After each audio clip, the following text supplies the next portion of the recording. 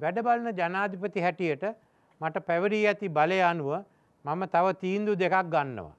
ජනාධිපති හැඳින්වීම සඳහා අතිගරු යන වචනය යෙදීම නිල වශයෙන් තහනං කරනවා.